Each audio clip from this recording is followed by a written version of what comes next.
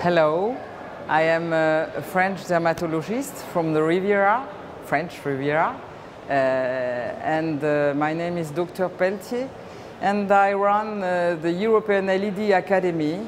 And I am very amazed uh, with the combination of aesthetic procedures, and uh, I think uh,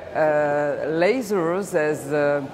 as uh, some uh, new treatment like uh, Ligato with this concept, very modern concept of three steps, which include microplasma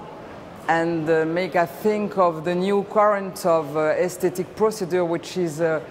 cell regeneration,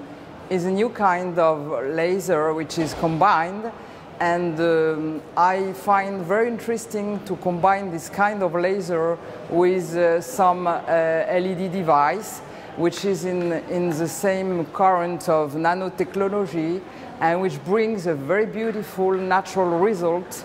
uh, with a, a, grade of satisfaction of patients which is very high. It corresponds to a very natural effect which is uh, uh, the new uh, trend of beauty. So um, I think we enter with this kind of, of device as Ligato in a new kind of angle of view, uh, which is going to change also our uh, type of procedure and our insight of uh, 21st century beauty.